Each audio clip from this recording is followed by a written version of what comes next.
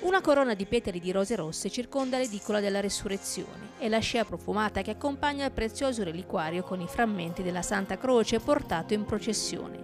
L'antico inno latino risuona nella Basilica del Santo Sepolcro ancora semideserta, ma oggi in festa per far memoria del ritrovamento della croce grazie a Sant'Elena nel 327. Solo a Gerusalemme questa festa ha conservato nel calendario liturgico una celebrazione propria nella cappella costruita sulla cisterna di epoca romana ai piedi del Calvario, dove la madre di Costantino ritrovò la croce di Cristo.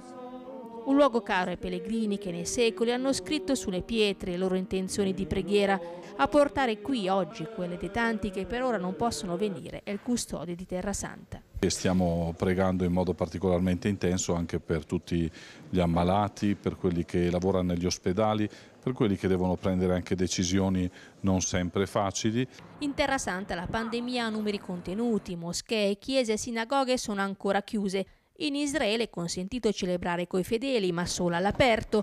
Nella Basilica della Resurrezione sono rimaste le tre comunità cristiane che la custodiscono. Il portone di legno durante il giorno è chiuso solo dall'interno per consentire ai frati di uscire per le necessità quotidiane. Bisogna essere sempre attenti, ringraziando Dio che, che questi numeri non sono stati così alti, non hanno proprio toccato noi, però la vigilanza continua e la preghiera, la preghiera pure.